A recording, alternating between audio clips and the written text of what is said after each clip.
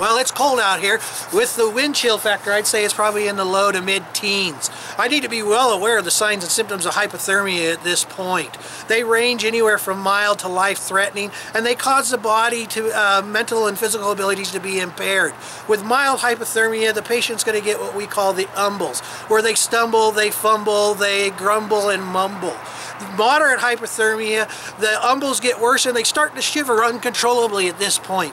When the, it gets to the point where they're at severe hypothermia, the shivering stops completely because they're no longer able to maintain and generate normal body temperature. We need to handle this patient very carefully, get them out of the cold, wet environment, activate the EMS system by calling 911 or your local emergency number, and then we want to remove any wet, cold clothing, and then cover them, insulate them from the ground, keep them warm, cover their head and the neck to maintain some normal body temperature as close as you can.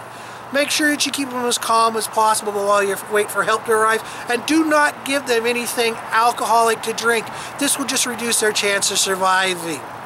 It's always important that you go and actually get trained from a certified CPR and first aid instructor. I'm Kevin Young with Young Hearts Education, and we're building confidence through knowledge.